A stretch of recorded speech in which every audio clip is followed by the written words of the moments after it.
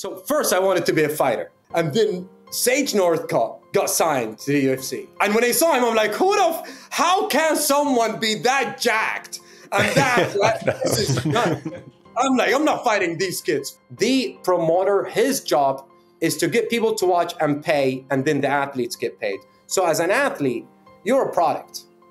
I have a store. In the store, I have products, and then we have winning products. Winning products attract people, and they buy them, so they're more valuable. If it sucks, that's good. It's good. It sucks. It means you gotta do more. You gotta go harder. That competition that you deal with, that's good. It means you gotta learn all these skills. You gotta get through the whole process.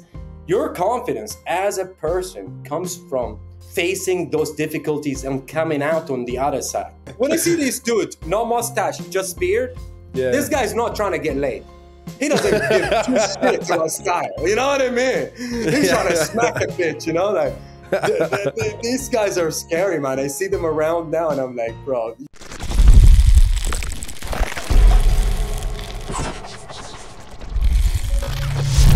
Yeah, because it's an English thing, right? English people don't wear an oversized. No, no, they don't. No, like we don't. We don't wear an oversized. It's more of an American thing, I think. Yeah. But yeah, no, I got it, and I'm just like a little bore mate, so I love it. You know. Yeah, I was going to say he is he is quite oversized, Joe, so it works very well. it's comfortable, man. Once you go oversized, it's hard to go back. You know, having a shirt tucking in your armpits and like you're sweating over time and shit. Yeah. I can't do it. Like I, I, I moved on a long time ago and I'm not going back. Now I take this same shirt and I cut it off. You see this? Yeah, I like that. Yeah, no, I like it. You know, I think I've got that one. I think I've got that one coming. I think I've got that exact top Well, coming. th- this is this is me. This, is my. But work. you've yeah, but you've cut it off, yeah. Have you actually taken a pair of scissors to that, or did you actually have like the manufacturing team remove the arms? Nah, that's like, bruv. Like my people are so mad because I I get these shirts and I start chopping them off and shit, you know. And I'm because like I live in very warm places, right? Like Yeah. Thailand, sway as fuck. And uh, I'm I'm you know I got creative with this stuff when I started cutting my pants. I started like cutting my pants, making them shorts. I was like, this shit is good. It's fantastic, you know. Like I'm, I'm like all these uh, pants and trousers that, that are old. All of a sudden now they're back, you know, in business. They're back, So- baby. Yeah. Yeah, no, I, I can get on board with that, mate. If you don't mind me cutting shit up in the summer. Yeah, man, and I'm shameless. Like when I cut stuff, I start like I start somewhere and then I start chopping them down, down all the way. Like my shirt almost feel like a crop top, you know. Uh, it's got so much airflow going on. You know, uh, I'm 38 now, and let me tell you, you don't get, you don't get like, you, you don't go down like with, with your comfort standards. You don't go back. You just start getting more and more comfortable. Mate, I'm My with you. shorts I'm with you. Way up now. Mate, you don't see me out of a out of a pair of trackies really these, these days. You know what I mean? I never wear a pair of jeans. I, I I've got one pair I think left. I haven't worn them in about a year. I don't think. When are we when are we going to see XMartial slippers for the for the UK audience then, mate? That's what we need. Forget the sliders, mate. Give us some slippers. Hell yeah, baby. Yeah, yeah. We'll we'll get you that. Just wait for the sun to come out. yeah, never. Yeah, we've we've had our day this year, mate. It's gone now for about six months, so so no chance of that. Hey grapplers, we are now sponsored by Ex Marshall. XMartial have sent us some new quality British design rash guards. These are just the British designs, but they do do loads and loads of really cool designs. You know, they got the OnlyFans ones, they got the Hillbilly ones, they got the Pornhub ones, they got all the all the Yeah, Game of Chokes. they got they got all that sort of stuff, which to be honest, you you just don't see anywhere else. Yeah, hundred percent. And they also specialize in not just no gi, but also Muay Thai as well. So if you're cross training and you want to pick up some Thai boxing shorts, then uh, that's the place to go as well. Genuinely, really do like them. I think they're uh, they feel really nice. That's what I like about them. They feel really nice. They got the band at the bottom, you know, and uh, yeah, I've took them for a spin and, and they they sweat up quite nicely. And better yet, guys, we've managed to secure a really good discount for our audience. So if you use our link below, then you get an automatic 15% off of everything on their website. Get that up, look, so they can see that shit. So Joe, we're live. We're live, my man. So uh, so welcome. Welcome to the podcast. Thank you very much for having me. This is a an honor here because you guys going some like top guys. You know, you got Brandon McCaghren, so J Rod in there. Jordan teaches, uh, one of our affiliates for a long time. You know, so it's it's nice to be here. Yeah, it's a pleasure to have you, mate. And uh, you know, we we've been making some great progress, getting some really good guests on, and obviously uh, you and the team are very kindly started supporting us now. So thank you very much, and that's going to allow us to, to get to new heights.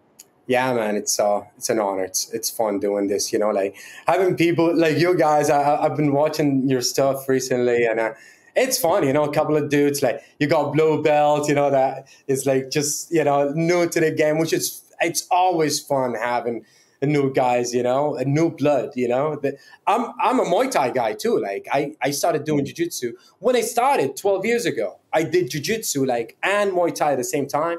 Yeah. And then kind of Muay Thai picked up and I forgot about jiu-jitsu. And uh, now I'm back, but you know, I'm like a white belt. I, I'm not ranked. I just move around. I'm like a good white belt, you know, like a white belt with a spaz, you know. Uh-huh. it's how I started in jiu-jitsu actually. I, I started with Muay Thai. So I boxed growing up and then I did Muay Thai for a couple of years.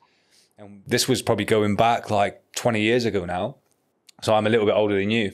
And when I was doing Muay Thai at the gym, there was some grapplers and jiu-jitsu guys, or they, they were cage fighters back then. And I started cross training, and they kept taking me down and beating me up. So, uh, so that's how I ended up doing jiu-jitsu. So uh, my roots are in Muay Thai as well. So uh, I love that. yeah, it's no, it's no joke in jiu-jitsu and no gi. I feel like Muay Thai translates somewhat to no gi, like the explosiveness and whatnot. And I love the like my, my, my style in jiu-jitsu. It's it's like I got like first attack. Like I, I don't have the steps. I got one step. If it works, good. If it doesn't work, I'm gonna just try to defend or something and just be annoying. you know. But I normally trying to go for a guillotine, you know, right off the bat, you know, like or jump on something, which is kind of Muay Thai thing, right? It's mm. it's more explosive, and um, it catches jiu-jitsu guys off guard, you know. And, and and I use the frames, I use the clinch frame a lot, you know, and just like just be annoying and such. It works if someone's like my size or smaller, and they're not very strong. But today I got like schooled at Bangtao, you know, just came from Bangtao, and uh, it's a machine. Like I said, it's just like you got almost four buildings in one, you know, and um, thirty trainers at once. Like every um, that's mental. Every space has like ten or twelve trainers. Yeah, that's incredible. I feel like with that Muay Thai background, though, you're the sort of white belt that's probably going to try and can open a somebody from the guard, right? get that, get that, get that like Thai clinch going inside the guard. boy, whatever I can get my hands on, you know, like I'm, I'm, I'm pretty bad, but you know, I, I got, I, so I rolled with this dude today from Denmark or something like that. And, um, you know, jiu-jitsu guys got different strength, you know, like their, their strength is, it's a ligament thing or whatever it is. We're mongs, mate, basically. Yeah. you know, like whatever you think, and, and some of them seem really skinny, right?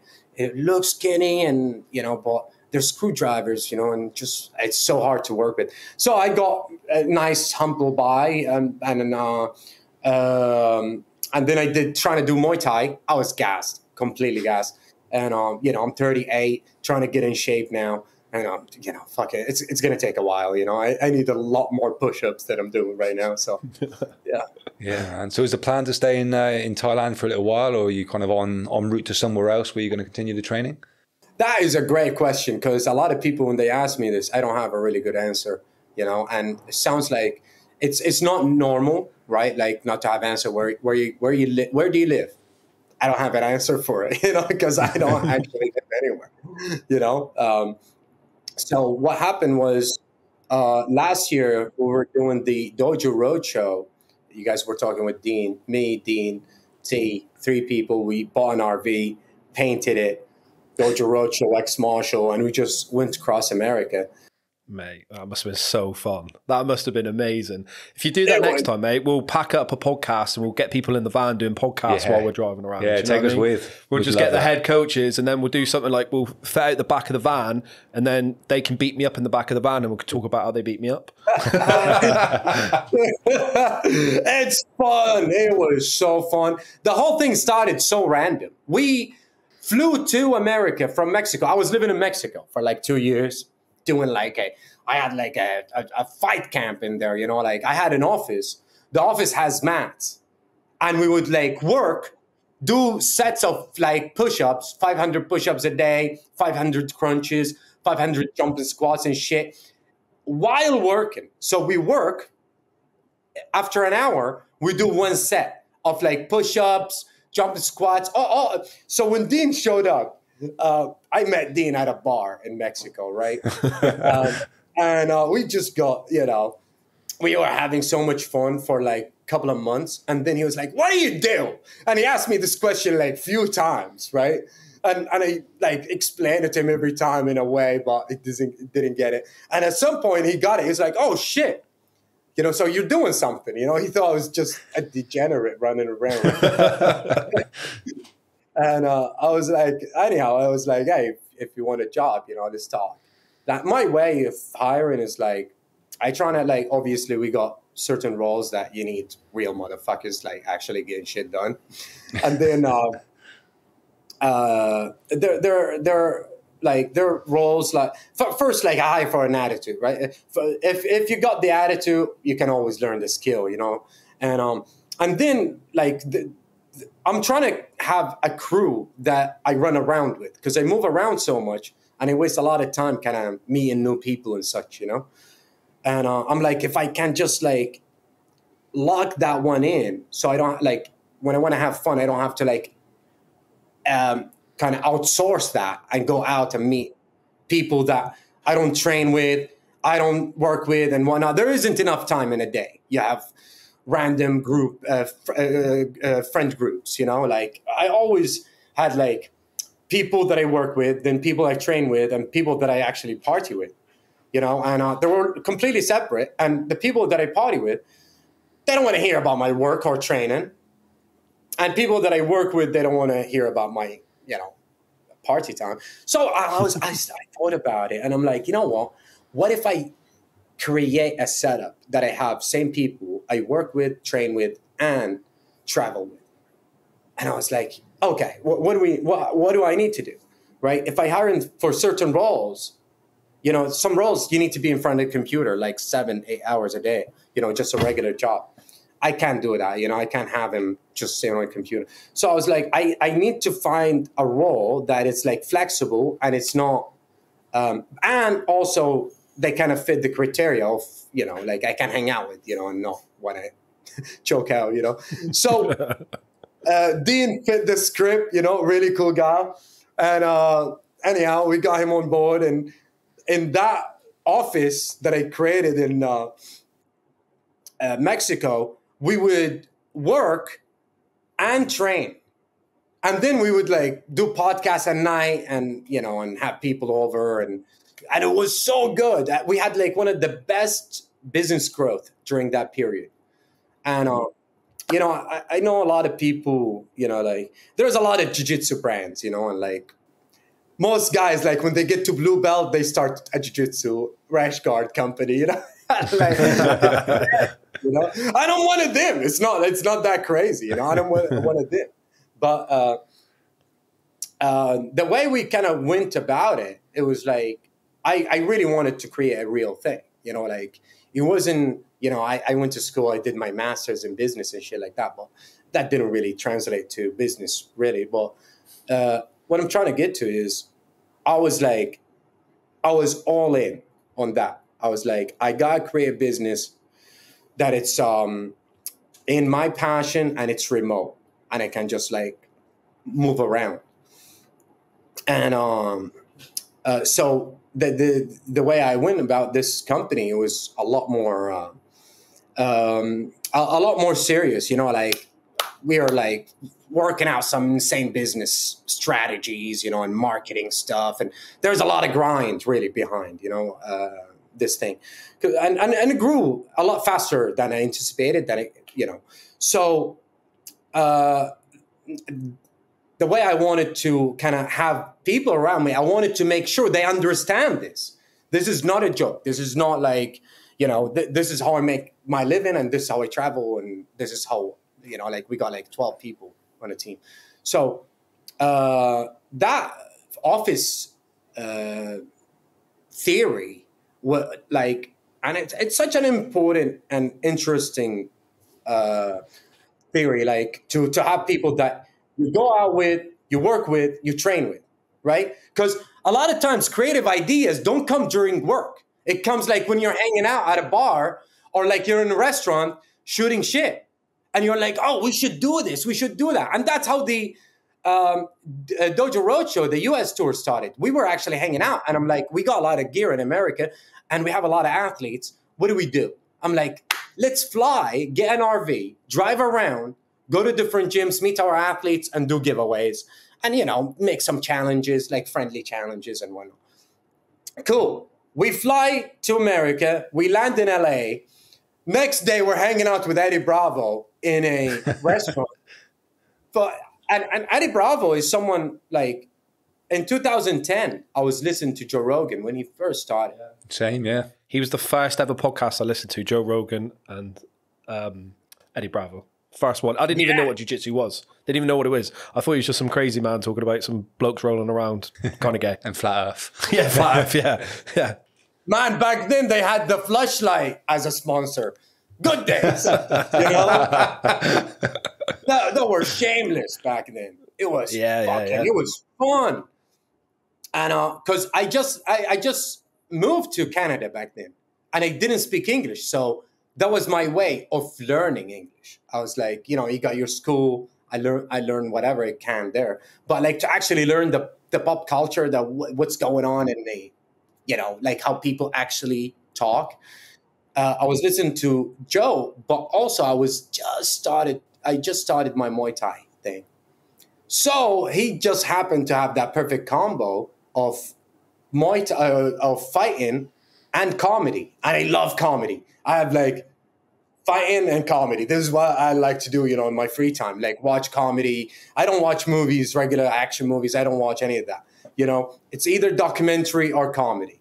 You know, so Joe had that, and I was like, oh man, I got I, I locked in really hard, you know, and it helped me a lot with my self development and such. You know, like I, I I really didn't know what the what the hell was going on. I just moved from the Middle East. I didn't speak the language, and uh, you know, back then I'm, I'm 38. Back then there was no like Facebook came out when I was in Canada. I was just like, like, bro, like back then, like you don't like people get their hands like the kids now on all this self development and business and all that. You know, you guys probably learned a lot about podcasting from YouTube, right? Mm-hmm. Back then, like there's nobody. It's just Joe Rogan telling you not to be a bitch. You know. so yeah. Uh, then uh, yeah, we were hanging out with Eddie Bravo, and the next day I was like, bro, this is too much fun. Why are we in Mexico? Like we already done that. When we're done with this, it was a two week thing. I'm like, we're flying back. We're buying an RV. We're doing this for a year, and uh, I'm living the dream. honestly. Mate, that honestly sounds like we we talk about it all the time. Like traveling and doing podcasts is our ultimate aim, I think. And uh, yeah, you're you're basically living that, mate. That's really fucking cool. It's really fucking bro cool. like try i'm doing the podcast i think it will be super effective one the most creative you get the more the more amped up like the, the most um, kind of there's energy to like being in a new place you know when i take you and you just land in a new city new country there's that sense of like your body's telling you what the hell is going on here you know and you're tuned up you know and that is very good for your uh, you know like i always say this you need to be excited in life. It doesn't matter what you do. You know, if you're not excited, um, n- n- everything is dull. It's so much is about what's going on here. You know, it's your perspective. It's not what's around you. You know, I always say this. You know, like uh, new experience is the best experience. Everyone know that, and traveling gives you that in abundance. Right? You're just getting new experience. Everything you do. Right? Taking the bus, walking, getting a restaurant. So and and that like that is one of the main reasons why I'm traveling now. I did some research when I was like 35, and I'm like, man, once I got in my 30s, life life started to pass by so fast. You know, I'm like, Oh, by the time I'm I'm I'm getting used to like 2022, it's 2023. I'm like, what the fuck is this? I'm like, hold up. You know, like, this is too fast. Yo. And then you start thinking, like, you know, when, here's the thing, right? And if you do it mathematically, when you're one year old, another year is half your life. Yeah.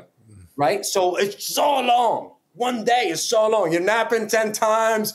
You wake up, fight with all your brothers, go do some shit, right? Like, and then when you're 30, right, it's one, one out at 30, right? So yeah. it starts as you grow older, life starts passing so fast. When you're young, you think, oh, it's a long way ahead, but it's not. It's really uh, it goes by so much faster. So I thought I did some research on how to slow down time, and I do that random shit frequently.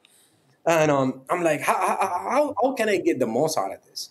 And then it turns out routine is a, a, a time killer.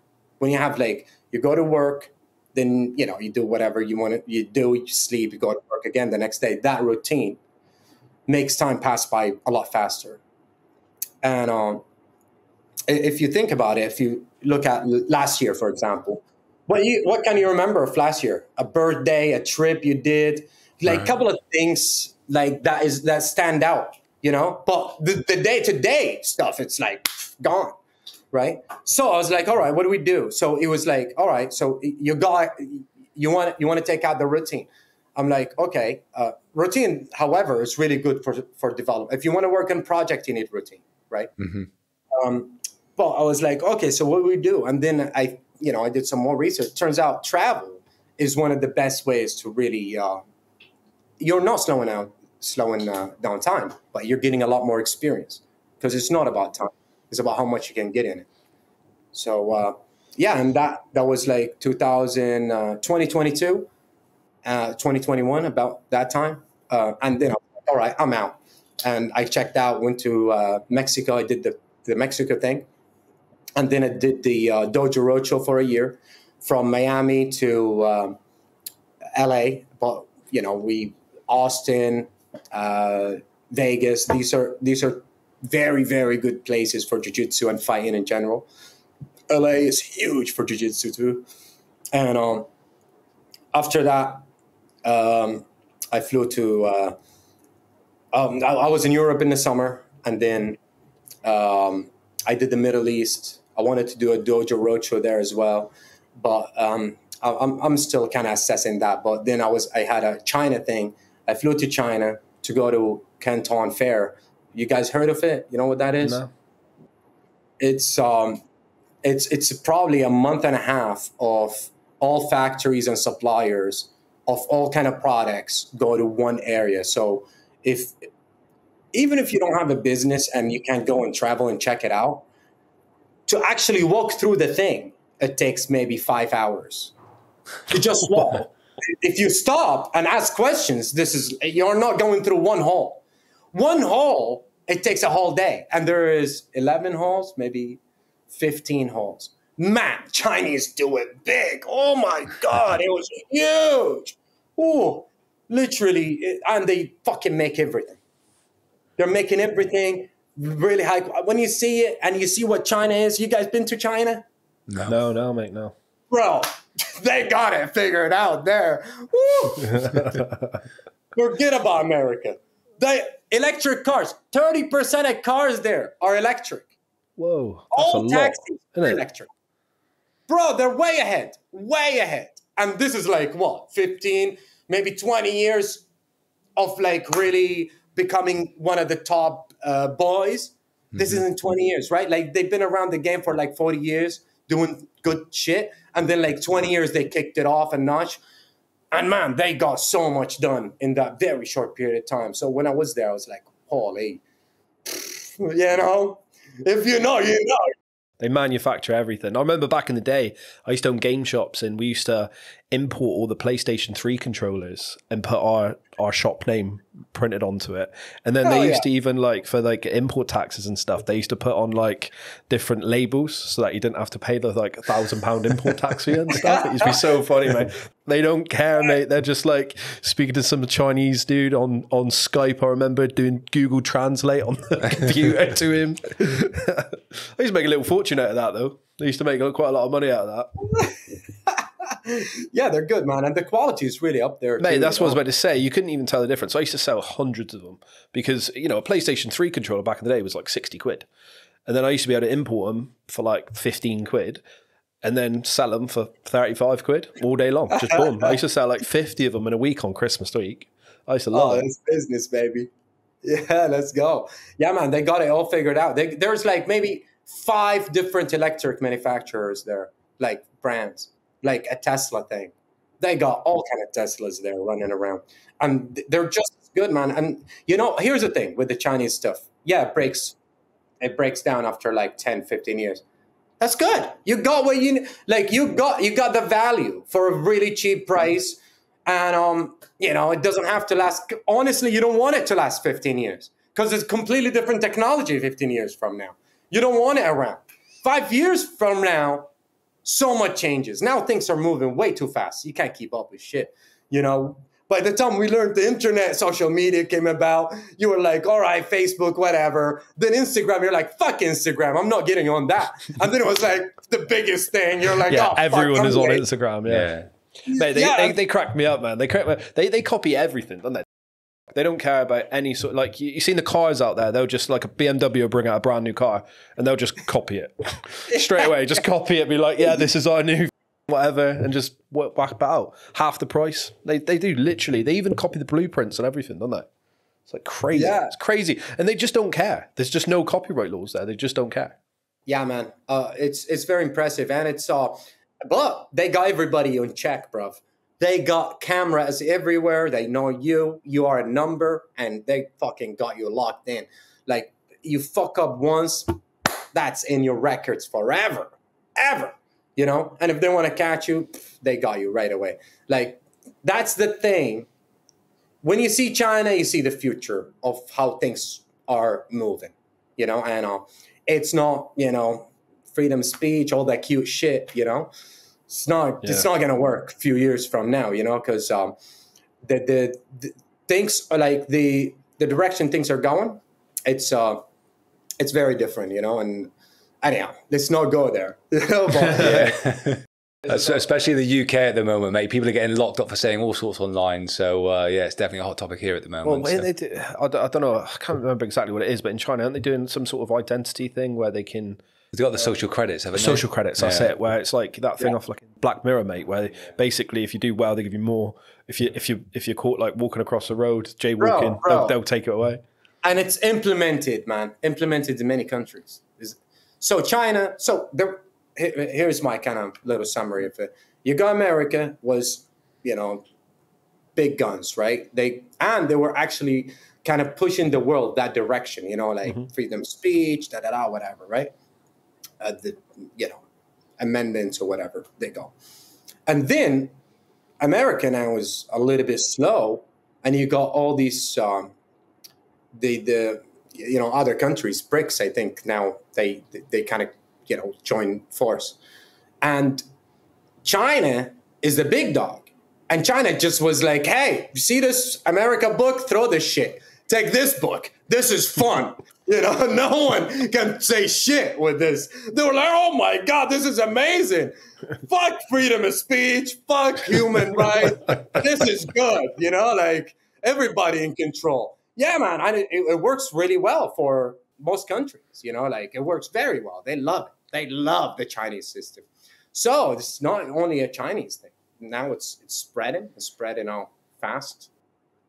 I know. This, this is just a podcast isn't it That's it. That's it. Let's, uh, let's talk pretty while we can then, man.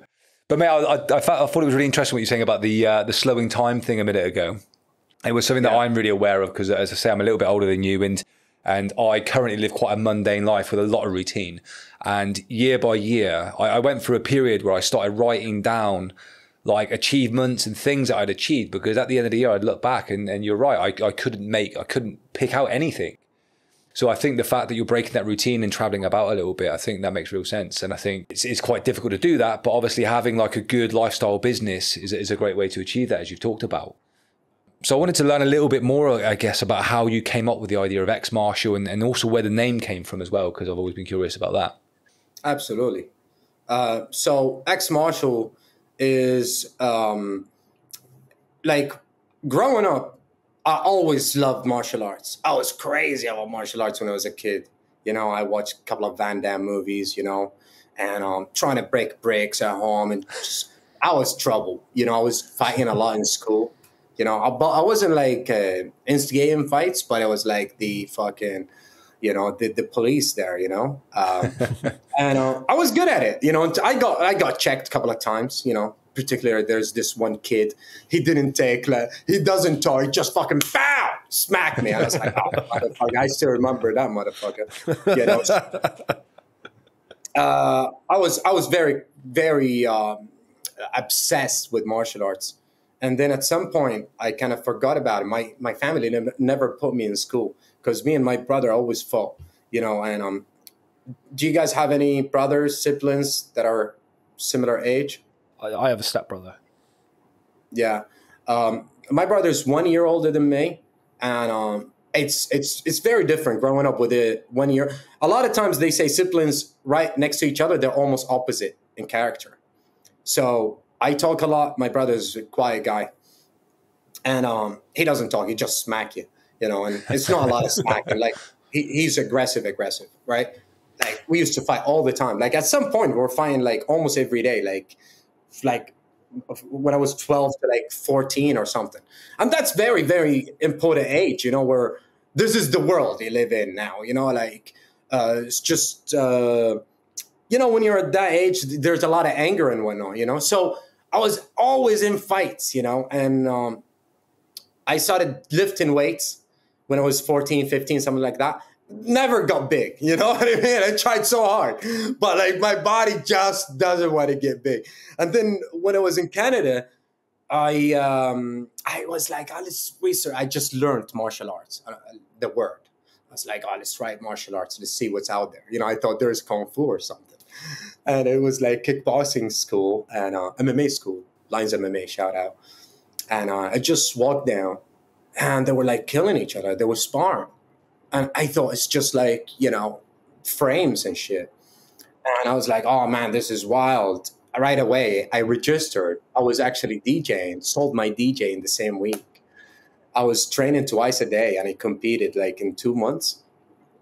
Um, I got my ass whipped, but uh, you know, it was good times. I, uh, so with that, I, I, when I finished school, I'm always stubborn with my ideas, you know, and I thought, you know what?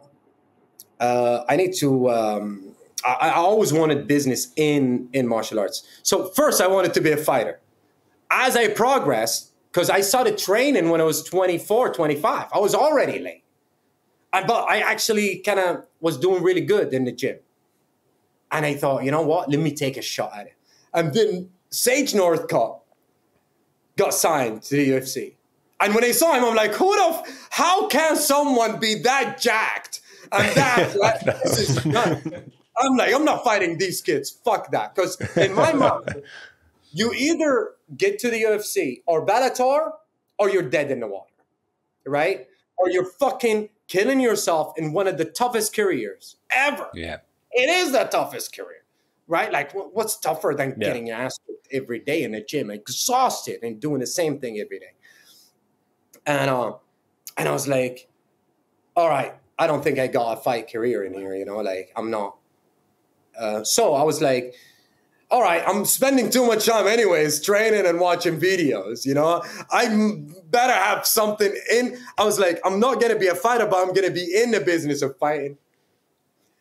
Um, and uh, I always had funny rash guards. Like I, I would compete in. Um, the Hangover T-shirt, you know, with the with that dude. Uh, forgot his name, naked, stick out and shit. And uh, I always just, I, always thought, you know, like if this game is too intense for you mentally, you shouldn't be doing it. You know, some people you find in the gym, they're like, uh, bro, if this is really making you uncomfortable, don't do it. Do something else. You know, this is too much for your mental health. You know, uh, I always thought like if, if, this is fun, especially for hobbyists this is fun, man. Get in there, have fun. You know, if someone is going too hard, you don't want to go too, too hard, just let them know. So, anyhow, so I had that mindset always like just fucking, uh, I like funky stuff and uh, I'm, I'm all about like style and comfort. it's a big theory, you know. Like I, I think British people would uh, appreciate it if they try it out because you guys love the tight stuff. Love tight. the tighter, the better. I don't know how you live like this. It's so.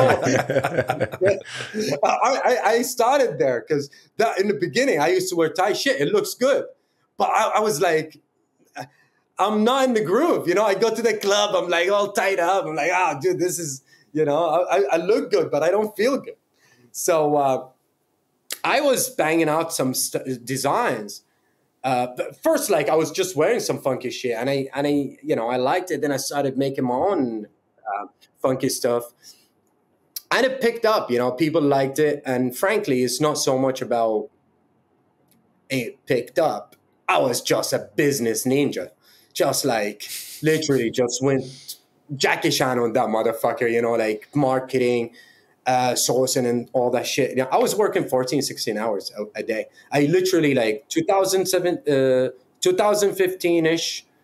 I had a New Year resolution. I take New Year resolutions very seriously, you know. Uh, and I was like, you know, a New Year, it's not like because of New Year, it's just like it's a good time. Okay, because a year, it's really a week if you look at it, right? Summer is like the weekend, and then you got the, the days, be, like January is like a Monday. You know what I mean? It's like everybody trying to fucking get in shape and start strong, you know? so I, I, I, like to look at it in accumulation. It's like, what happened last year? What do I need to fix? And I, a couple of things I had in mind. I was out of shape and I needed more money, you know? And I was like, all right, so uh, I want to I want to create a business that is remote, you know, because I wasn't sure I'm going to stay in Canada. You know, I was in visas and stuff and um, and it has to be in business in uh, in martial arts. Sorry, guys, if I'm ranting, I don't know where this no, no, question. I got in the head two times today. So yeah, XMartial as a brand, this is uh, so. Um, I uh, basically I took it very seriously. I translated, and this is the thing I, I like to tell people. You know, uh, jiu-jitsu and Muay Thai and fighting and whatnot. This is a passion, and because it's so hard, you start figuring out a way to do it better and whatnot. Even it's so hard, but because you love it, you're willing to put in the work. Yeah. Once you learn how to put in the work in that, now you learn the formula. Pick something else that will fix your life, make it better, and even if it's so fucking annoying, just apply the same formula. Hard work, it will only get better if you do more of it. So that's kind of I I went from putting all my time in fighting Two, just putting all my time in business, but training twice a day. And I competed like two months later. I lost like 20 pounds, which is like, I think, seven kg or 10 kg. And I fought in two months. A competition came up. I rewarded myself with a two tournaments, like Saturday and a Sunday. It was six fights in uh, in a weekend. And uh, and then the business kind of picked up at the end of the year. I just grinded out for a whole year. I was like, I thought if it takes five years, but then it works, boom. Now I'm in yeah.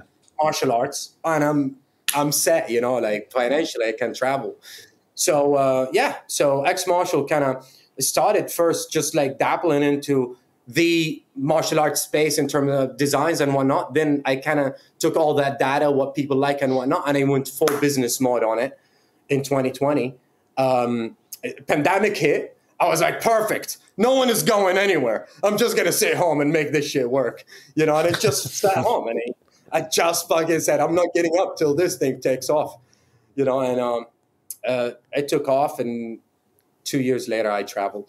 So uh, yeah, that's class, mate. Yeah, it's cool, man. And and we love the brand. it's funny when we first got up with Dean, you reached out to us, and one of the things he asked was how familiar we were with the brand, and we we were uh, quite familiar with you, but mostly because we watched some of the guys that you look after, so Jordan and Tyler and those guys. But also because we kept seeing these really quirky rash guards popping up in our gym. So yeah. a couple of the lads were wearing the OnlyFans one. There was one that the uh, I forget the actor's name, but I'm too old for this shit. That design. yeah, yeah. And I think you'd seen the Joe Rogan one, right? The yeah, Joe- the Joe Rogan one, and then the hillbilly yeah. one always gets me as well. The faux like shorts and t-shirt hillbilly always gets me. Like yeah. So when Dean reached out, it was great because we'd we'd already kind of looked at some of the rash guards, but But like you say, that there's, you said at the start, there's like a lot of people will just attempt to make a jiu-jitsu brand like at Blue Belt. But yours is like really unique in regard to the style and the how sort of how I guess how bold you are with some of the designs. I mean, were you always that way with the brand? Was that always the intention to be so out there with the different brands and the different rash guards and the and the designs? Man, this is a great question. You know, like uh, I know you guys are a pod, like a jujitsu podcast, but I'm sure everybody in in business in some format, right? Like, and I'm a I'm in fighting, but I'm in business as well. And uh, mm-hmm. look, if you want people to remember you, you you come with a bang. You know, come out with a bang. Like wear something or like looks different. You know, there's this uh, whole picking chicks, um, picking up chicks. Uh, teachings or whatever. I don't, I, you know, I'm not very familiar with it, but some people told me you have to be cock and shit. Yeah, that's it. Yeah, yeah, yeah. Yeah, and I know a lot of guys, especially our age, you know, they gone through that education, you know, like yeah. But before before Instagram, that was how you met women, just peacocking and then reading the the game or whatever the book was called back in the day. Yeah, I love it. It's hilarious, you know.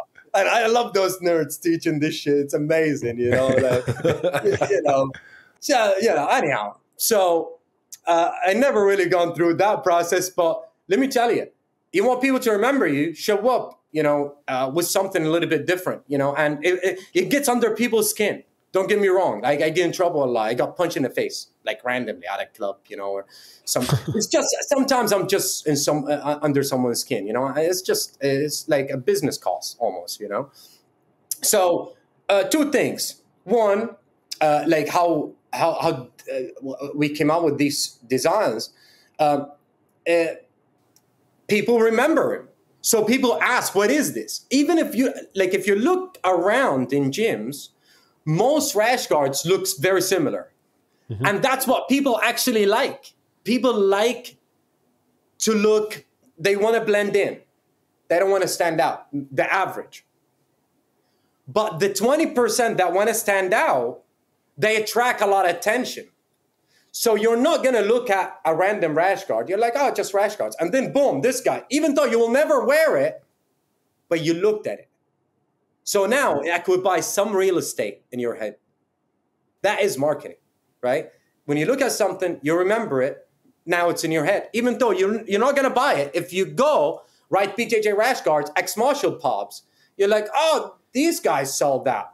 So it's already validated. You know someone bought, you know, so you know we can go down the business uh, rabbit hole but the, the, that is an important element. But then we have all these normal designs that people like because in my opinion a lot of people like the uh, the a lot more chill mellow designs and um, uh, a little mysterious. Also the the uh, like hardcore angry or whatever. I don't know like i don't have the name for him but like you know like like blood shit like that. You know, like people like this stuff too. So I'm not like stubborn about like, oh, this is our shit. No, we, we are actually famous for our funky shit. But we we we provide whatever it is that the customer wants. You know, like yeah. if the audience wants something, uh, we make it happen and we optimize it. We we we change and we throw these quirky things on it. So when you wear it, even though it's chill, you still can see this is XMartial, you know? Yeah, it's a really good marketing strategy, really, because obviously you've got a lot of normal stuff, but because a lot of the rash guards are so like outrageous, you know what I mean? Like they are funny.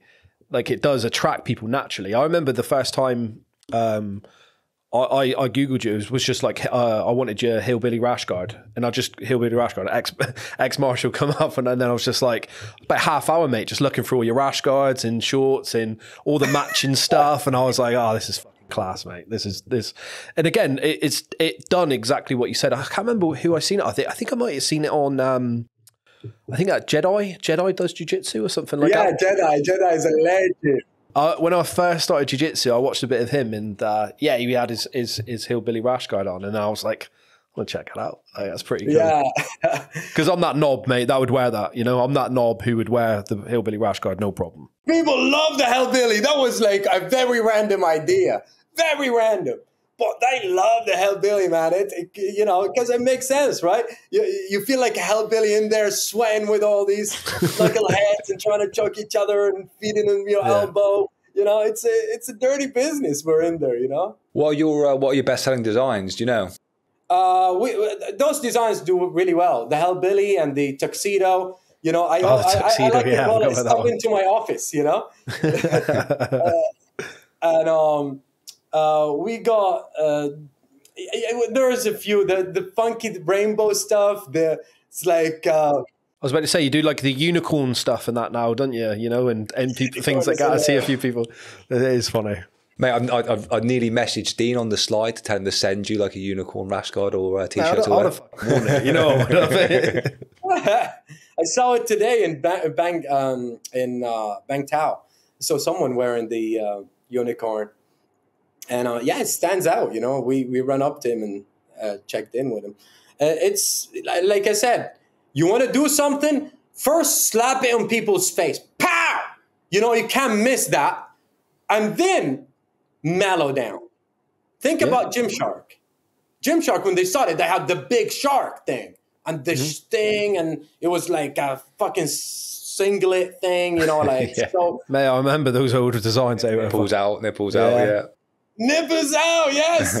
and and now look at them; they're very clean, right? Yeah, yeah. So yeah, you start first with a bang. Like this is the same formula I'm trying to do, like with our like Dojo Roadshow, the way we can approach things. Honestly, it's more of my personality too. I'm I, am i am high energy guy, and I talk a lot, and I I like to joke, and I'm just like I like to have fun. You know, in my my time, we're either having fun, we're doing business. I'm not fucking doing something in the middle. You know, like we're either doing something cool or we're having fun.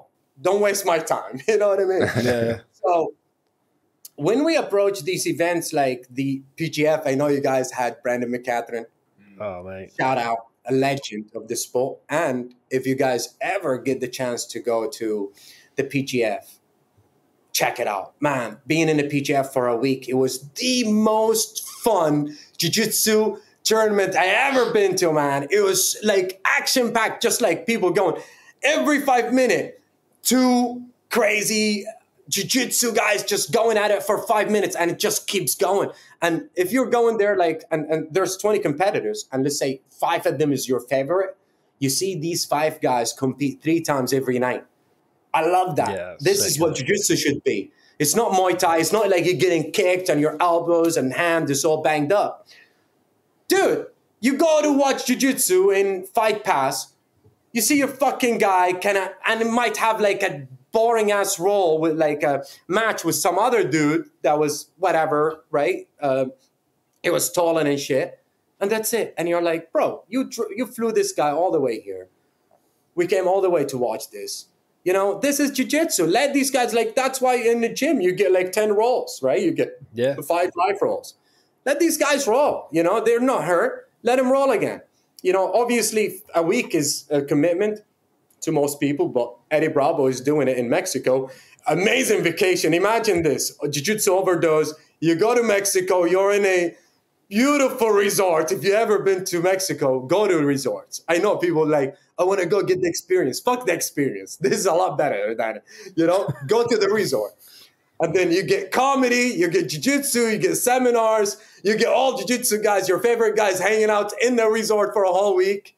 This is a way to go about it. You know, like you just hang out with people that have similar mindsets as you you know like they don't have to be like a high level or whatever but they kind of they like to fuck around you know so um uh, anyhow uh i don't know what i was with this i was just asking about the the designs and stuff mate but no it was good it was a fun tangent and the other the other thing that you obviously do a lot of as well and and you know partly why we're speaking to you now but you obviously get behind athletes and you know and YouTubers and, and kind of use that as a way of marketing as well. Was that always like part of the strategy, or is that something you've just kind of evolved into? Yeah, so I'm studying these big brands, you know, Gymshark and whatnot. Mate, Gymshark is such a good example, isn't they, of doing that? Amazing example. If, if, if that isn't a good example, what? Think about this: Gymshark. You got Adidas, you got Nike, you got Reebok. These guys been in the game for so long.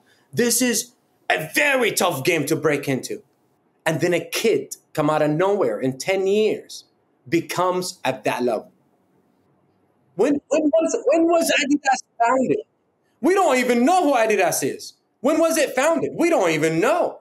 It's like a thing you were born with. Uh, you were born, and Adidas as a Nike is like just like fire and water and shit. You know, they were around.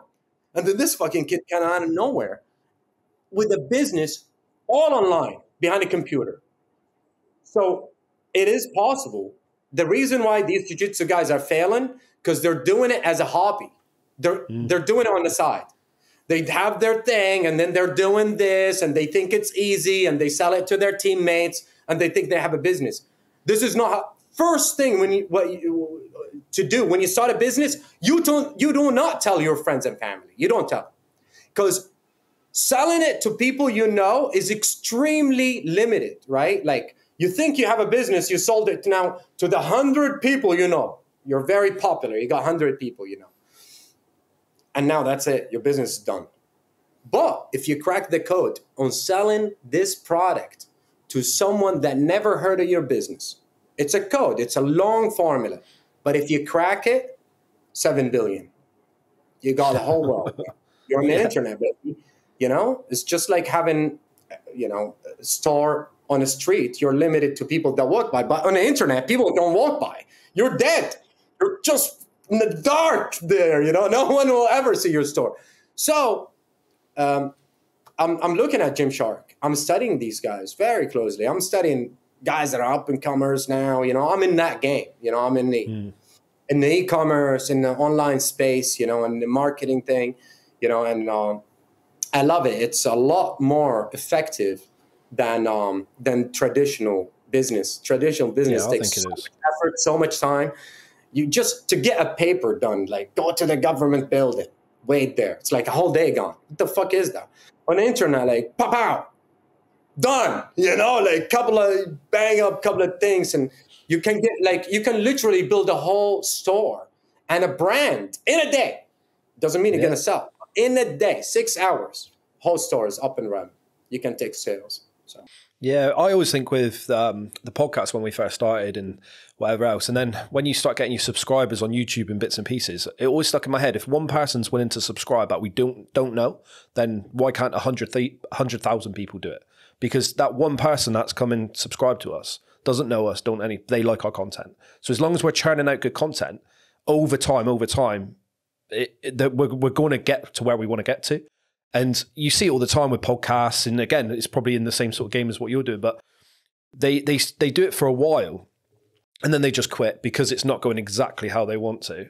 Whereas with us, it's like no, regardless of how many subscribers we're getting or you know how well an episode does, we don't care. We're like we've got this plan, and we're just going to keep churning out these episodes, keep speaking to better people, keep moving forward, and then what will happen? The subscribers will come then all the other parts of the the business happen.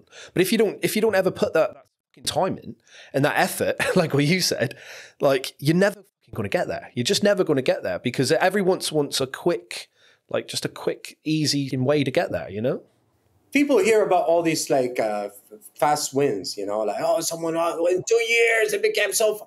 These yeah. are extremely rare cases, you know. Uh, real, like especially when you do, like in my opinion, first you got to figure out your money, you know, and money can be really boring, job or whatever the fuck it is. And then once you got that source in, work on a passion project. And even if it takes 10 years, after 10 years, you're good. If 10 years later, you still got 30 years to go. Still a long time. Like, so if you got it like figured out in 10 years, that is a great achievement and you got so much more time to reap that rewards right and the process is always fun even like because it's a passion project you should think about it this is something i'm doing it because i love it and if it makes me money we're fucking great we're, we're good now too you know but a lot of people like chase your passion don't fucking chase your passion if it's like making music or something that is extremely hard to get into like the the the, the, the likelihood of you as a fighter or athlete, I, I say two things, right? Athletes or artists. To be an artist or an athlete is extremely hard to make money. Extremely hard, you know. So you got to know your thing first. Uh, uh, you know, make sure you secure that bag, and then work on your project at the same time sometimes or whatever it takes, mm-hmm. right? But um, it, let's say you're a fighter, work on your social media. This is part of your business. I don't care. You don't like it, no one cares. You have to do it. Yeah. You know. Um, yeah. Same thing like with uh, artists and whatnot. You know, like uh, it's it's tough, man. Now it's very competitive. Uh, the world has become a lot more competitive than what he used to. It used to be like get a job and you're chilling. You got your friends. You go to the pub, hang out. Good days, you know. Like now it's like fucking. You do everything right, and still you feel behind because the world is moving a lot faster. You know.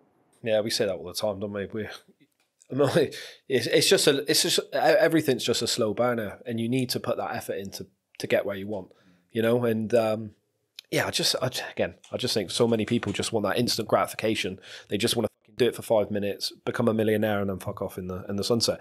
And it's a good point that you made like in 10 years if you work on something for 10 years and then you eventually make it that's way better. Like in 10 years you're still gonna if you if you give up after six months that 10 years you're still you're going to be exactly the same spot. And we speak about that all the time the time's still going to pass right? The amount of things over the years where i've gone oh, I, I might do this but i don't want to because it's going to take two years. And then five years later i'm still doing the same thing i just think three years ago i would have been done yeah. so, so i got there in the end and this is why we're on this path now but it's so true and the process right yeah it's a process for sure the, the harder it is the better for you right the harder it is it means you have to problem solve a lot more and you become yeah. a lot more seasoned with all these difficulties. You know, people, you know, I travel Thailand, Bali, and shit, and nerds trying to find themselves, like fucking us and hugging each other and shit, stinking.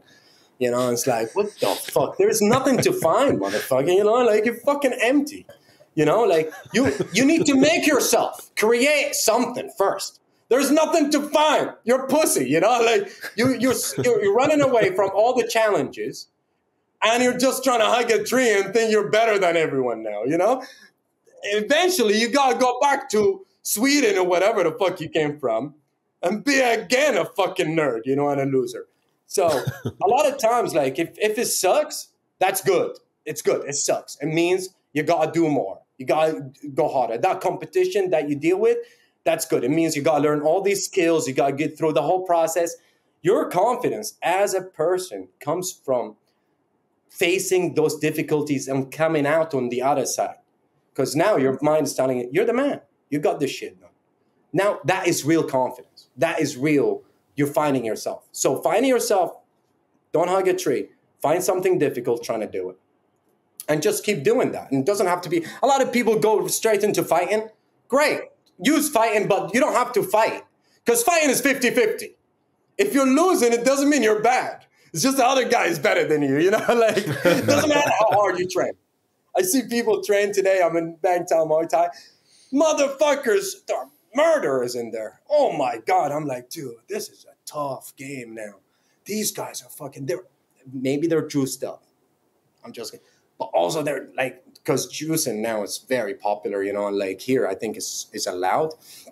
And I'm like, man, these guys in gear, and some of them are, are, they don't give a fuck. They like they come from places where they could have died in a war, you know. So to them, it's like either uh, I either make it as a fighter, I'm shooting all this shit, or I'm fucking dead. I don't give a fuck, you know. So that's who you that's who you fighting on the weekend. You know what I mean? Like it's not a fair game. You know, fighting is is one of the fastest ways to uh, to build that self confidence. It's like a hack. A lot of times it takes for me, the way I look at it, a fight camp, three months, it's almost two to three year of self development condensed. Because you're just every day you're waking up, you're fucking sick and tired. You gotta go again, train hard, diet. You're getting schooled every day. It doesn't matter how good you are. You know, fatigue gets the best. And, you know, uh, every day, you know, like someone is better than you. So, uh, pick something difficult, trying to get it done. And that was the way I kind of found myself first in um, in Muay Thai. I was like, oh shit, this is it. You know, this is the thing for me. You know, like now I learned hard work. I never, I thought I was a hard worker, but you never know till you start training. Like your blue belt, you know what it is. You know, like you start doing jiu-jitsu, you're like, all this workout I was doing, oh, picnic, oh, that was like a warm up. Mate, yeah, that's exactly how I felt when I come into jiu-jitsu it blew my mind, mate. I was like, this is discipline. It's everything I probably needed in my life 10 years ago, to be honest with you. Do you know what I mean? I would have, I would have been flying 10 years ago if I got it then. But, you know, it, it is it is brutal. It is brutal. How old are you, Danny? 35. 35. You're still in the game, brother. And Paul? I'm 42. you know what's up. you guys are getting there. You know how it is. You know. Yeah, now you got to be man. very picky with your shit. You know. Yeah, like, for sure, man. Damn. But mate, I think I think it's true though what you say about just doing the hardship. I think even with fighting, I mean, when I was you know in my twenties, that was pretty much all I did. I did a little bit of MMA in my twenties, and that was kind of like my whole status at that point. I was skin, I had a shit job, like shit relationships, but I was like a bit of a fighter and I, I, I got injured and, and kind of lost that. And at that point, mate, I had nothing else. So I think sometimes if you develop that confidence just through fighting alone, I think if you lose that, whether you get old, retire, get injured, go on a string of losses, whatever it is, I think you still you still risk getting left with nothing or and and losing that confidence. So I think you're right. You still need to, even if you are a fighter, still do other shit which isn't as fun as fighting that requires graft. And you can take that fighter's work ethic and apply it to other things, like you say, and, and get that shit done. It was something a former guest, Dan Strauss, talked about, where he was talking about the status game. Mm. And that the key to the status game is that you you play multiple games. So you achieve status in fighting, but in business, in other things as well. So if you lose one, you still got the others. Absolutely, man. Jordan uh, teaches, you know, like he's a fighter, black belt and all that you know, and uh, really good kickboxer as well, you know. But his YouTube now is a big thing, you know, and he took it very seriously. Um, uh, this is the thing about fighters, you know, that's a whole identity. And uh, they almost, because now, you know, I don't fight, you know, I just train and whatnot. And a lot of these guys I see in their eyes are kind of fucking, they're, they, they, they look down at you, you know, when they see you, you're not at their level, you know what I mean? And I'm like, this is your world I'm in your world. You know what I mean? Like, imagine you come to my world and I'm like, what do you do? You know what I mean? It's like, it's a stupid, it's, it's a stupid mentality, you know, like to have, oh, this is my identity and this is what I'm gonna judge people based on how strong they are. You know what I mean? Mm-hmm. Yeah, completely. Dude, it doesn't matter how strong you are if you fucking, you know, if your life and you know you're you're struggling with your relationship, with your mental health, with your finances. A lot of the fighters are like they have a lot of issues outside of fighting, but they're running away from them and hanging out in the gym. That's their safe zone, you know, because they're better than anyone else there, you know. And it's it's funny, you know, and it's like, bro, there's so much more in life, you know, and fighting is a very young man's game, you know, and it's it doesn't last very long, you know. Like it's not like comedy or singing you can sing in your 70s, you know, but spider, you're like past 40 doesn't matter how good you are. That young gun that is talented is gonna cause a lot of trouble. You know, so uh, yeah, yeah. Fighting, it gotta be balanced with something else. You gotta like, in my opinion, when you approach, if you approach fighting, you gotta look at it very um, um, uh, in a very specific manner. Like, okay, I'm gonna try to do one, two, three within that time period, see where I can get.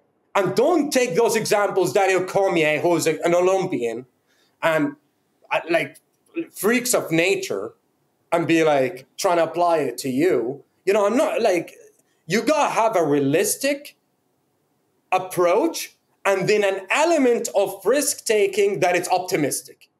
But that is like a 10, 20% you can't like run your whole life based on like an insane luck, you know? Like so you gotta like go in fighting, you go hard, you're trying to push within your 20s, you want to find yourself on a path to one of these big organizations.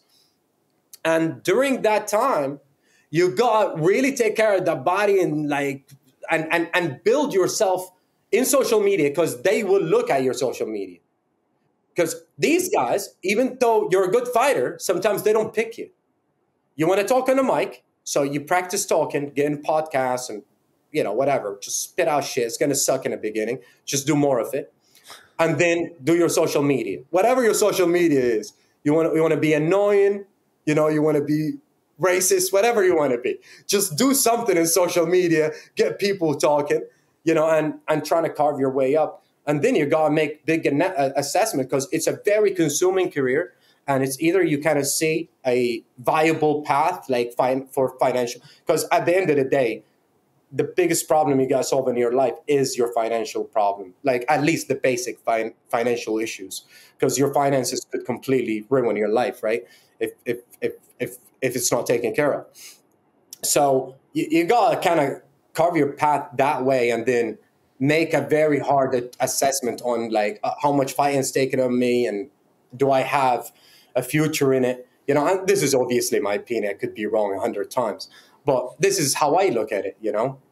Yeah, I think it's a really fair assessment, mate. And I think, um, yeah, I think potentially so many people probably just chase that dream for too long without doing anything else and just end up unstuck. So I think it's, uh, yeah, a really good assessment. I wanted to ask you about jiu-jitsu, jiu-jitsu specifically because I think we're chatting at a really interesting point in jiu-jitsu because I've been around jiu-jitsu for, I don't know, 20 years. So for me, it's always been popular because I've always been in it. But you know, when multiple people asked me if it was like karate over the years, I realized it probably wasn't that popular. But we're at a point now where obviously you've got CJI, you've got a lot more professional brands. Danny's doing a blue belt uh, 16 man competition for a five grand purse in like in six months time. It's insane. So you've now got a lot of money coming into the sport. Uh, you've got obviously ADCC making massive spe- spectacles. You've got Brendan doing his thing with the league.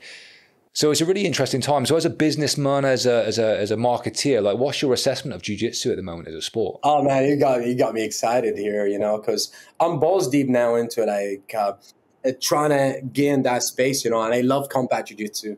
You know, I feel uh, this is like uh, uh Eddie Bravo's uh, favorite son, you know, combat jiu-jitsu. He's really, really passionate about it, and his passion translated into me, you know, and I I thought, like, why is he so crazy about this thing? You know? And then I thought about like jujitsu. I'm like, how can we make because I've been trying to figure out a way. How can we make jiu-jitsu popular? Mm. I love jiu-jitsu. Great sport, but it's hard to watch. Yeah, and, um, yeah I agree. I think the best format we got now is uh, PGF. The best format. The best format. Like hands down, in terms of story, drama. Think about this. These guys are competing against each other for a week, drama starts building up because a show, the sport is like the, you know, after this is 20%, 80% is the characters. If you like these guys, you want to see how they do things. Like Danny now is getting the 5,000, right? Uh, and I think it, it must have something to do with the podcast or something this is not random blue belts for 5000 no no. So so danny danny maybe got the gig because of the podcast but there's loads of other competitors that are just blue belts who are just on the uk like scene. best, yeah they've won a lot of shit mate. They they they're literally it's trying to find out basically who's the best blue belt in the country. I love it it's actually a, a catchy title it's a thing. It's, yeah. it's a thing. It's it's not it's not our thing. It's not something we've put together. It's uh it's called uh, Ikigai. Ikigai. It's yeah, it's up, it's up north in Manchester. So uh, it's uh, it's a Andy Aspinall black belt who's putting it together. Who's doing this? Steve Stephen Henshall. He's called. I would love. I want to. I want to connect with the with the guy because this yeah, we'll is hook you up. That is a smart man. Blue belts yeah, mate, are yeah. a lot greater market than brown belts and black belts. Oh, They're 100%. one of the most passionate market. You know. Mm-hmm. That, that's our market. Blue belts. You know, blue belts. They're they're they're fresh blood. They just got in the game. They're flexible in terms of ideas. They're funky. Uh, they are eighty percent of the market. I mean, yeah. if you if you have a show, uh, best blue belt, you throw that on YouTube. What do you think gonna happen? Oh mate, I, I, completely agree. We've I, I said this to you, didn't I? I was like, so many people be interested to see you know what I mean? Because some of these lads, I was saying, I text Paul yesterday. One of the lads, he's won like everything. He looks like he looks eighteen. He looks like he's barely got a pube. He looks fourteen. He looks fourteen. Oh, it doesn't look like he's got a pube, mate. But he's like fucking everyone up. And I was just like, bet this motherfucker's gonna ruin me. You, you know what I mean? he's like seventy kilos wet through, and he's gonna he's gonna he's gonna heel hook me in twenty seconds. But bro, that's a that. Uh, wait, heel hooks are allowed?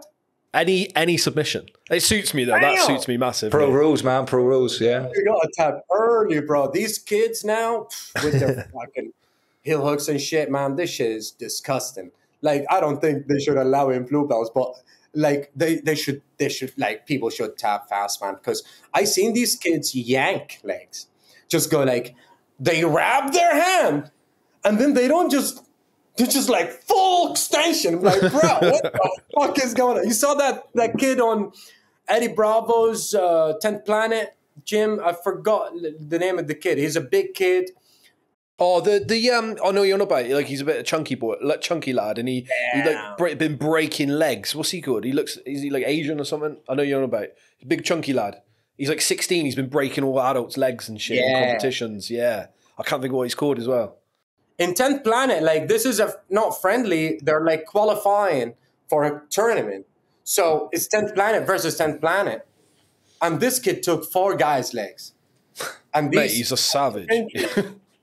and these injuries man they're like life-changing injuries you know? Like you never recover 100% when when your knee pop that hard. Yeah because his yanks was fucking insane.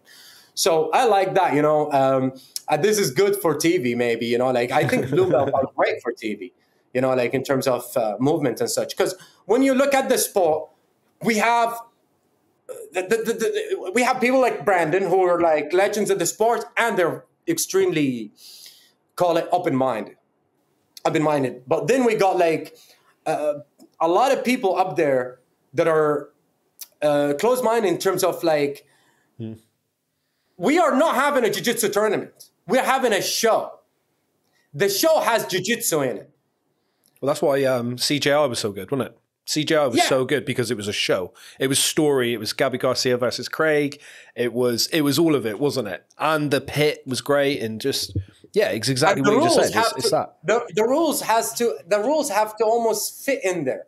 The Mm-hmm. rules have to uh, be narrowed down to like make it action packed and a lot more uh, uh, a lot more drama than uh, than than than a, than normal sport. In my opinion, as a sport athlete, you like this is just business kind of landscape. I'm looking at it. When you're competing in the beginning, you're competing who's better at jiu-jitsu. But when you're getting on shows, UFC and whatnot, now you're a part of a show. So you got to talk on the mic. No one gives a fuck how good your jiu-jitsu is. Do not try to claim big numbers of cash. Your jiu-jitsu pay you as jiu-jitsu purely and, and as sport, who you can bring to the seats.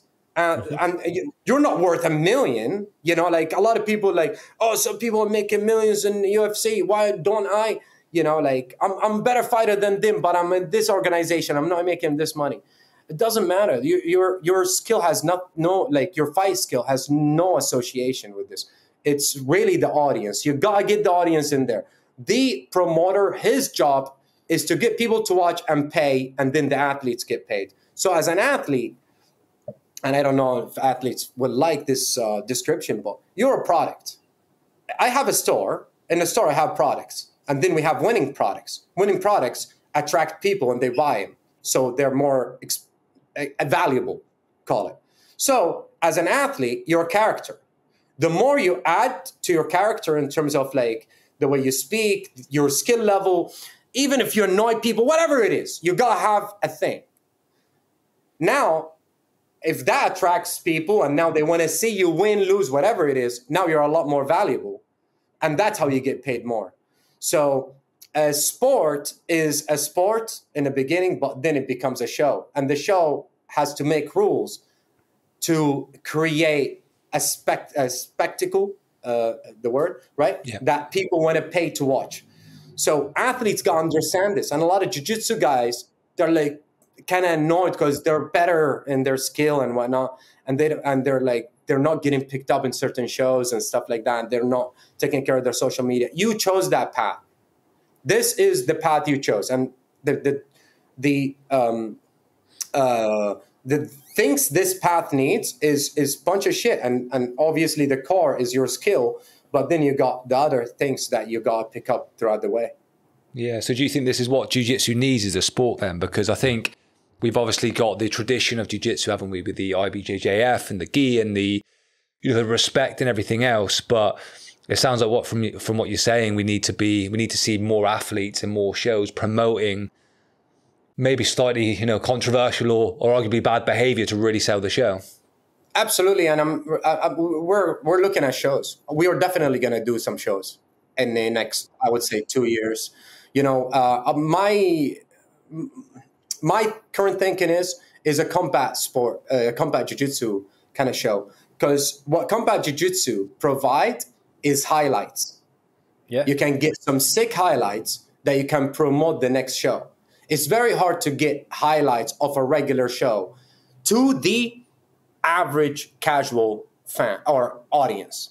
You can get a good highlight for a jiu-jitsu guy. Like, for example, we have uh, Nick Ortiz, a great back taker, you know, and a very fun, flashy back taker. And anybody that does jiu-jitsu, to get someone's back, this is the ultimate goal, right? This is the ultimate position. You're like, you know, you uh, so he's really good at taking backs and it's a very hard thing to do and he makes it look really good and he's very popular in the jiu-jitsu community. But if you show this to someone that doesn't do jiu-jitsu, I think they still like it because he got some sick highlights and the guy's shredded and all that. He got the other stuff as well. But um, combat jiu-jitsu, you can get those knockouts and those crazy like blood things and shit like that. So that element, this is that little product that you get at the very end, few seconds, is what promote next shows. So you take this, you take characters, you show the blood and the mess, you show these characters are crazy. Now you get people interested now people want to see that next event. Think about this. If you see two people fighting, you're walking the street, you, you see two people fighting far. You're like, ah, oh, shit, so, some people fighting there. And then you notice one of them is your neighbor or someone you know. You're like, oh, shit, let me see what happens. Because now you're, you have one more level of investment. You know them just a little bit more. If it's your friend, you're jumping in there, right? If you watch someone talks like Danny in a show, you know, for a few months. You're like, oh, I, I want to see how he would yeah. behave in a in that chaotic environment. Like, how would he, you know, react in a fight? You know, it becomes not so much about his skill. It's just like the curiosity about what that person reactions would be. You know, even like you would be interested in him singing. You know, people are interested in Conor taking a shit. Conor can do whatever the fuck he wants. You know, like especially at his peak he could have done anything. People yeah. would come in, right? So the more you watch someone, and that is a real estate here. You're trying to occupy the more real estate you have in people's head, Andrew Tate, Andrew Tate just hammering shit at people, right? And then love him or hate him, he is in your head. He already won. You know, so the more you occupy in the real estate, the more they want to know about you especially in a crazy scenario, a fight, court case, um, you know, maybe even a business venture, you know, like mm-hmm. a cryptocurrency, like he did. So uh, I want to, I want to, I want to do something in combat jujitsu, and uh, I'm probably gonna do it somewhere in Mexico or Thailand. Like less rules. I love Thailand. You got all the fighters here, and you got all these crazy you know, Russians and whatnot. These guys don't give two shits. They go through hands anytime, you know? So you could like literally just sign him up. You should do it as a show, mate. It'd be so fucking cool. Oh, dude, that would be mate, put me in, put me in. I'll, I'll fight. I'll, I'll smack some black belts, mate. Don't worry. Do you know what I mean? I'll just fucking hit them. Don't worry. Give me a Russian. Let's go. Yeah, man. But when you see him, you'll change your mind. I don't know, mate. I, don't, I, don't mind being it. I've trained in Thailand, mate. They hit different. They hit different. when I see this dude, no mustache, just beard. Yeah. This guy's not trying to get laid. He doesn't give two shits to a style. You know what I mean? He's yeah. trying to smack a bitch, you know? Like the, the, these guys are scary, man. I see them around now, and I'm like, bro, you can't take. You, so they don't get the jokes we, we throw around, you know. So I'm thinking combat jiu-jitsu, maybe Thailand. Get those highlights. Really show. Make it a show. I'm not. This yeah, is not like. In my opinion, the way even I'm gonna produce it, it's gonna be live, but then it's gonna be a YouTube show that it's like almost 20 minute or like even 40 minute, whatever it is but every person before they we show their fights, you will see their background, um, their interview and such, just like the UFC does it. Because, you know, a lot of times you, you're watching some fights and you don't know some fighters, but then their interviews, you're like, ah, now I'm interested. I see. Yeah, I like this guy. You know yeah. where this guy come from. You heard a couple of problems he has. Now you're connecting at a human level. That's what we need. This is what the sport needs. The sport needs more attention on the fighters, not just their fights. Show their like the um uh Daisy Fresh. Yeah, Daisy Fresh. Yeah, man, Yeah.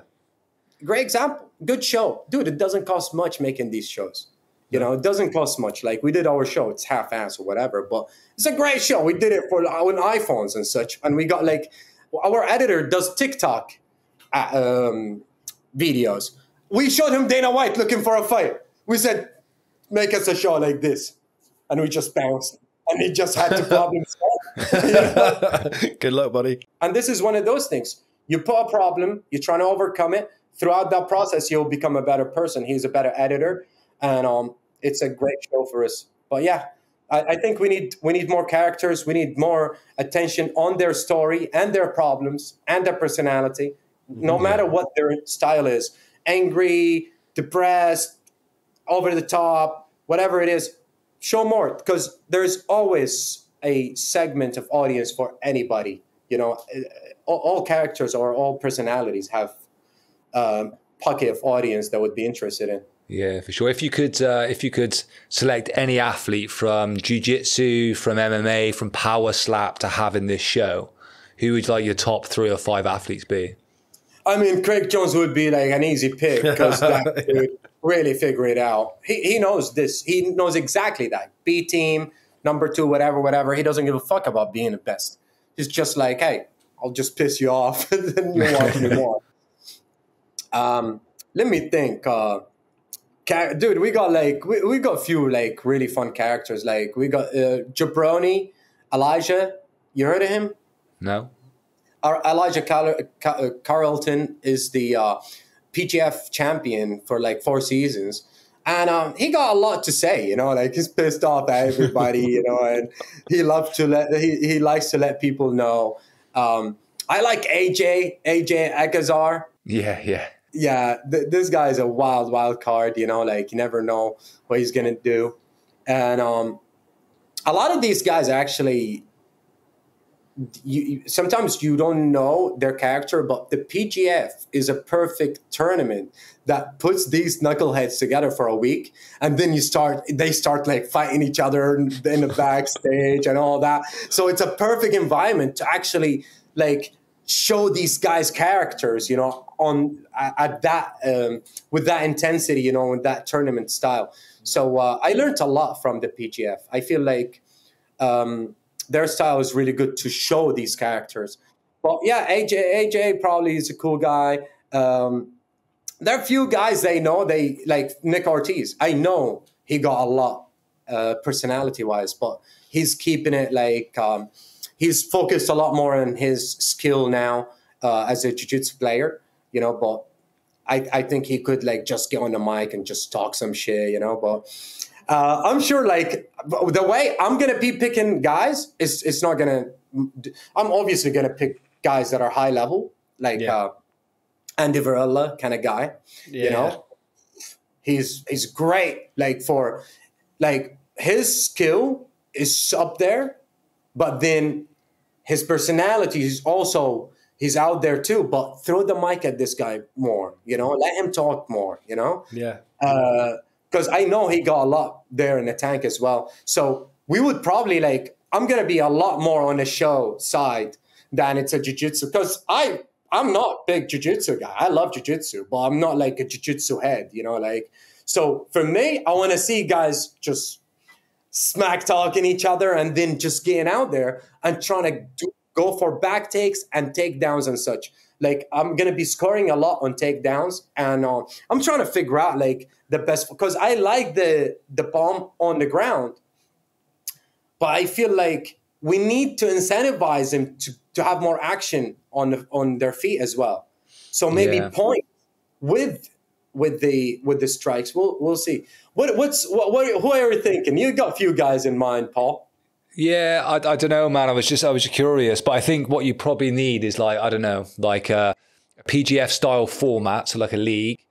I think maybe like an athlete house, like the Ultimate Fighter or Power Slap or something. yeah, that's. I think maybe like a, a CJI alley and maybe rule set and then uh, just a load of lunatics, mate, basically. And I think you got a show and money to put in, as in like yeah. big prize, because then it's then that's what will get everyone going crazy for it. Yeah. You know. And that's that's what I think XMartial like you were talking about like us getting involved with athletes and influencers mm-hmm. and such. Mm. You know, we are like I'm a huge fan of the sport and the personalities in it. You know, I'm a, like a lot of the people I'm I'm fanboying. Like no one knows about these guys, but I'm like I'm a huge fan because I'm very curious about psychology and fighting and all that. You know, because there's no bullshit in, in fighting. You know, like it's so intense and everybody that's involved, winners, losers, and all that, I respect them very much, you know, because it takes a lot to get in there, you know, like and do what these guys do. So I'm a huge fan of the sport. And one of the main things I did when I uh, had my company, I was um, sponsoring all kind of guys, all kind of guys, like just so happy I'm in the space, you know, and so happy that I'm involved now, you know, and I actually can give back, you know. And I'm not like a big charity crazy guy or whatever, you know, but you know, I, I like to uh, I like to do my part or whatever, right? And um, uh, I'm thinking like with that tournament, this that would be a great way to do it, you know, like create a tournament, really trying to make it some make, make it something big, and then that money goes right back in the community. And uh, if people don't like combat jiu-jitsu after they see the money they'll be like all right now we got something. And i feel with what we have like we already got brand and a lot of these guys starting tournaments basically they're just throwing money and hoping it works you know? Um, we're already in the, in the business you know? So there's a lot more utility for us to have a tournament and a competition like we can uh, we can call it monetize it a lot better Yeah. so um, we're really looking at uh, creating events and a tournament. We want to make him a lot more no stadiums, none of that shit. It's going to be in the gym. It's going to be completely uh, specific for video. You know, like for filming. Yeah, it's yeah. not like um, yeah, it's not audience thing. We'll have people, but and it will be fun. You know, we'll throw some weird shit and and just make it a little more weird and quirky, just like what Craig Jones did. You know, there and you know this guy's Yeah, sounds great, man. And I think I think you're onto something with the with the personalities because some of the the, the craziest, most interesting people you, you ever meet are going to be around jiu-jitsu and fight gyms. It's kind of why we ended up, uh, uh, you know, as the grapplers perspective. We started off as the everyday perspective, and we were kind of focused more on men's health and lifestyle. But as we went through and when as we went on, it just all the interesting people we knew. Uh, were just jujitsu guys, so we just ended up talking about jujitsu. And I was saying it for ages when I was like, we just got to go down this rabbit hole, mate. Yeah. I was like, because we were just, I just, I just find it way more interesting. You know, I just find it way more interesting. And a lot of these guys, like you said before, like they have so much life experience and and the things that they talk about because they've been through such like shit times through you know getting chinned in the in the rings and you know putting themselves out there. You know, they they got such fucking amazing stories, and then they they they do well in business and they do well in other aspects of their life and it's just interesting to hear you know these top guys when they talk about you know how they give up everything it always sticks in my mind so many people were like oh how did you get to where you are and they're like well i just you know give up everything i moved to a different country on my own and i just fucking went for it and i slept on a floor or you know some crazy story and you think how the fuck have they done Yeah, that but I think even like the normal people you meet who just have everyday lives but use jujitsu to maybe manage like some sort of shit, some sort of PTSD they've got going on from their life. And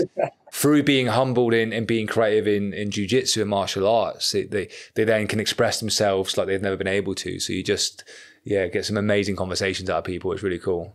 Yeah, man, and ego checks, right? Like um, you, you get your ego checked every time in, in jiu-jitsu Every- fighting.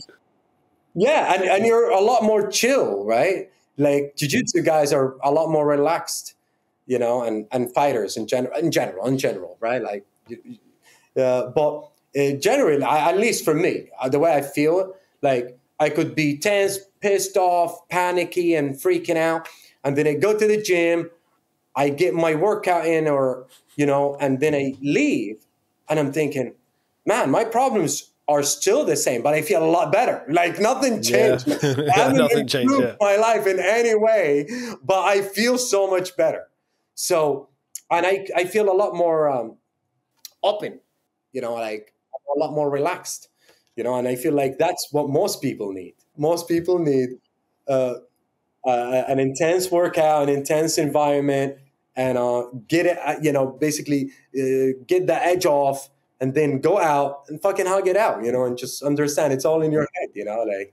Sometimes you just leave and you're so fucked. You just don't care about other shit, do you? You know, you just been you've just been chinned for an hour, you know, and then you get out there and you're like, "Oh, it don't matter. I'm just tired. I'm just tired. I got the ass. Whatever. Mrs. is mad at you. Yeah, sorry, love. What do you want? I mean, Yeah. You just don't It's care, so do you? You- It's, Like- it's so fucking true, though, isn't it? Like you just don't care. You're just like, yeah, whatever. Yeah, I used I, I used to be like a lot more um, nervous about interviews and things like that, like um, with work and such. And then when I started training and and competing, I was like, man, this is so easy. You just sit there and chat shit with some other guy, you know, like in front of you. You're not cornered and getting smacked, you know, like and kicked and you know what I mean. And, Choked and out. honestly, the worst about fighting is not really the physical; is the fatigue Yeah. the worst about fighting is the fatigue. Yeah. Yeah. When you're fatigued and you still got to push every time, that mental shit, uh, once you get off it, you know, you're like, oh my God, thank God this shit was fucking annoying. You know, like I was, I just did uh, two classes, Jiu Jitsu and Muay Thai. And man, I was out of it. I was like, oh, I'm so glad this is done. But right when it finishes, you're like, man, I feel so much better. You know, like during the shit, you're like, fuck, I, why I hate this. You know, like why is it so hard? You know, but right after you're like, oh, that's why I do it. You know, because if I don't do it, I'm fucking pissed off. You know, and like, We're going to go train out in uh, Texas and B team. Uh, we had Dima on the podcast last week, and he's invited uh, invited us out to go and, and train with them for a couple of weeks. And that's exactly what I'm expecting. I'm going to do a camp before I go out, just so I'm fit enough to try and talked keep about up. this the other day. yeah. was like, I'm just going to get wrecked out there. Fucking Nicky's going to dump me on my head 500 times, isn't he? You know. we pulled up on B team. We pulled up on him in the RV, you know, and uh, uh, Craig Jones was there. You know, he always gets ambushed by jiu-jitsu nerds. You know, uh, he doesn't like him. You know, like he, he doesn't like. He, he's like, just get these guys off me. You know, and you can feel it. Like you know, jiu-jitsu guys are very. Uh, fanboy you know like Yeah. hey what's up you know and like no one like famous jiu-jitsu guy no one knows about him but in the world of jiu-jitsu like he's so famous you know these guys spending hours every day watching this guy sweat so uh, we saw him outside we said what's up and then we circled they were like fuck off don't fucking park here you know go park somewhere else and then we spin around we park in the front and uh, RDA was training there and um, RDA comes out with all his Brazilian team. They see the RV, they're like, "Hey, what's up?" And we we bring them all in. They're all hanging out in the RV, and uh, it was the craziest thing, man. RDA is a legend. This guy's been fighting in the UFC for like 15 years or something. You know, like uh, uh, he was there a long time ago, and uh, I saw him once in LA. You know, and I didn't want to bother him. He was with his family, and I got a lot better um, uh, time with him when he, uh, yeah, he hang out basically, you know. And this is the thing: you go to Austin, you gotta meet a lot of these guys. Like Yeah, Austin, a blue belt in Austin, bro. You gotta, you, you're gonna get checked there. Blue belts in Austin, like brown belts. Mate, it's gonna it's gonna be fun. I'm glad like I've uh, I've been taking my jiu-jitsu seriously for like the last well since I started really, but oh, it's it's just gonna be fucking hard, isn't it, mate? But again, I'm doing it because it'll give me a good experience before I go to this comp. Because anyone in that room is going to beat me up way more than any fucking person at that comp in my head, you know? Competitions put you on your toes, yeah. Yeah, yeah, that's exactly it. And like, you know, even when Dima and Owen Jones they come to, and done a seminar and bits, and I, I had a little role with Dima.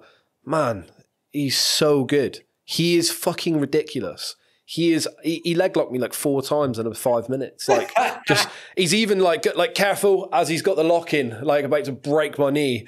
Like and I'm like, fuck me, man, this is like it's just different level. It's just different level again, isn't it? It's it's you know, and again, he's like you know, he's hanging with those guys, but he's not even, you know, in the in their league effectively, is he? You know, competitively. You know, you think, fuck me, how good, how good is, uh, how good is Nicky and Craig and all them lot? You know.